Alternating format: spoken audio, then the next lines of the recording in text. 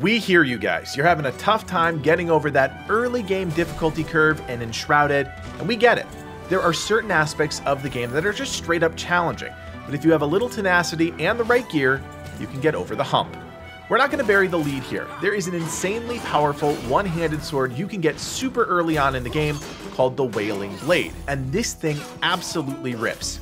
Yes, it's lower level, let's just call that what it is, but being able to get a legendary weapon this early on that you can upgrade is huge.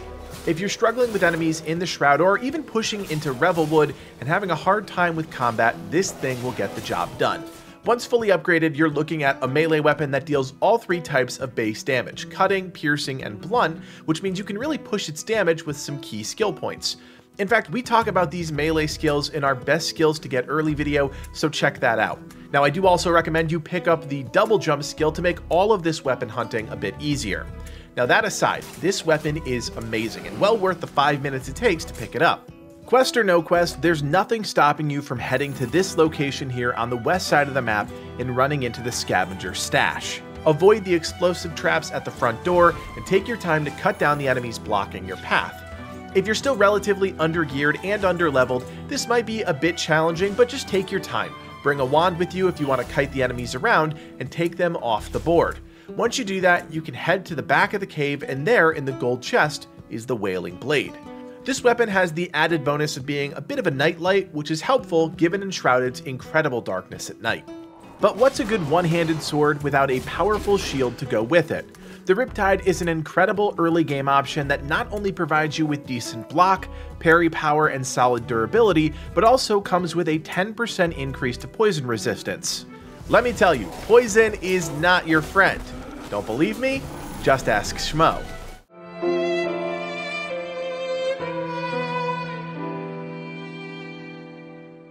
In all seriousness, if you're going for a melee or tank build, having a shield is a no-brainer. Once you have some skill points and a few food buffs, you can practically hide behind your shield and never take damage outside of a few special attacks, so why wouldn't you want an item to make that even easier? To reach the Riptide, you'll need to strengthen the Flame Altar. Full transparency, ours was strengthened to level 4 before we found the item, but I'm relatively sure you only need a level 2 flame to enter the Shroud Zone here and enter the point of interest that's hiding the treasure.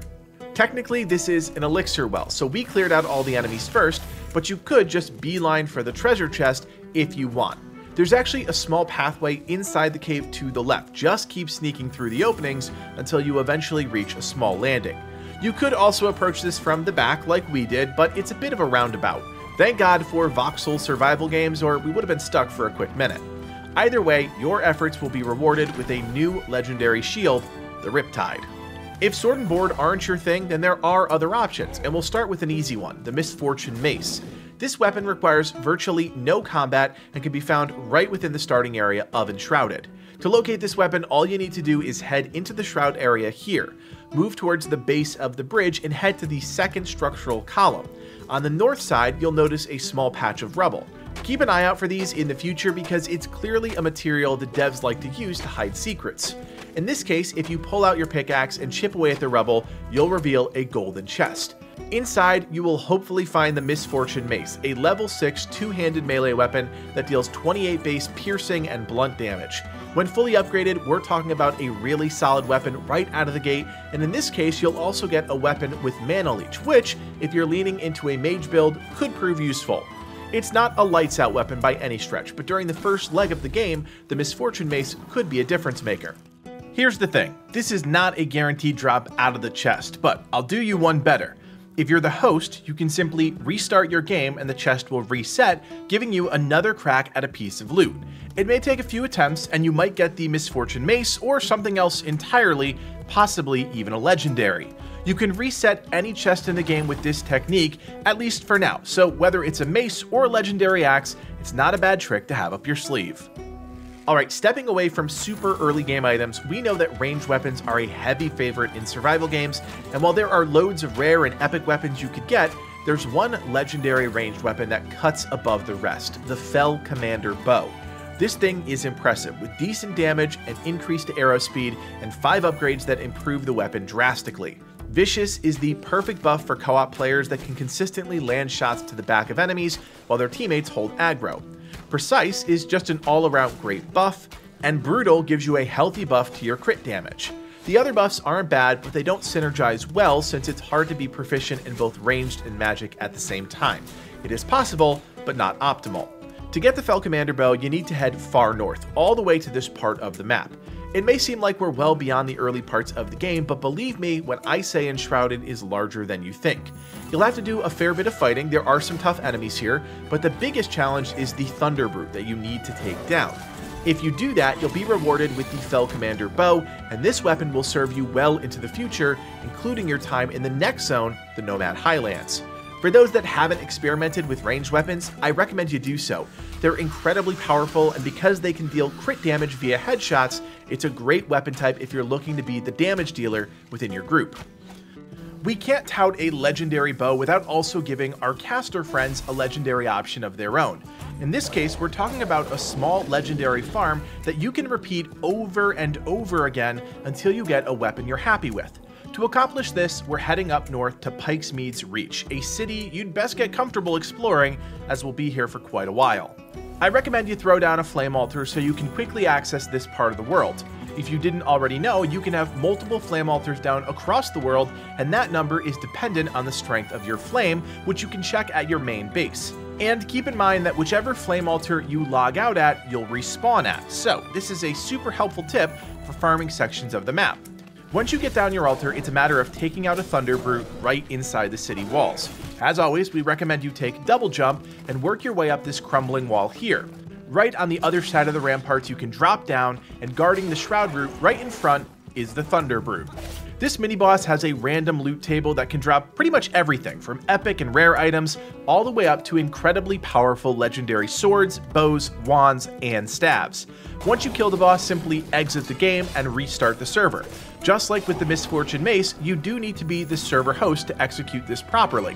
Once you're back in, head to the boss area again, take him out, and keep claiming his loot until you get what you're looking for. This is a great mid-game farm that you can repeat dozens of times in just a short matter of minutes, so don't overlook the power of a simple farm technique to get some pretty lucrative pieces of gear. Since you're in the city, you can also grab the Wolf's Maw. This is a level 25 common melee weapon with high base damage. It's a decent sword if you're looking for something simple with chunky damage, but it doesn't come with any additional benefits of a unique weapon. To find this, you just need to reach this spot in the middle of Pikes Meads Reach you'll see an orange glow on the ground, and if you search the body, you'll be able to claim the sword. This is another one-handed weapon that can be used with a shield. At this point, we've covered most of our bases, but we wanted to end with a bang, a unique set of armor that you can and should pick up. One, because it's a solid melee set that doesn't have to be crafted, and two, because it looks badass. We call it the Sauron set over here, but it's actually called the Guard of the North set, and the pieces can be found here around different parts of the city. Almost everything will require some form of combat, so you'll need to make sure you have a solid handle on that before you attempt to complete the set. The gloves can be found behind the first Shroud Root, right where you left off from obtaining the Undergrowth Staff. The headpiece is arguably the most challenging to get as it does require you to scale the castle walls in the far northeast. You can reach this without defeating the first boss, I want to be clear there. It just takes a bit of navigating around the back and the side to pull off. The chest piece is found here at the bottom of a necropolis guarded by reanimated skeletons. The legs can be picked up in the northwest corner of the city in an underground area guarded by some shroud enemies, and the boots can be found in the destroyed tower in the southeast part of the city. Keep in mind, this set is less about substance, more about style, which is why the buffs don't really impress me a whole lot. Yes, you get some solid melee enhancements, but you also lose maximum time in the shroud when wearing each piece of armor. It's not the end all be all, you can easily still wear the armor and function just fine, but it's something to consider. So there you have it, some amazing early game gear that you can get in Enshrouded. Keep in mind the Nomad Highlands are just a stone's throw away, and you're going to need the best gear you can muster if you hope to take on some of the challenges there. So gather what you can now, and be sure you're ready for the next leg of your adventure. And speaking of which, if you're still struggling with Enshrouded and you want just a bit more help, check out this video here. We break down some of the best tips and tricks we've learned in our combined 100 plus hours with the game. My name is Codiak, and from everyone here at Legacy Gaming, thanks for watching, and play on.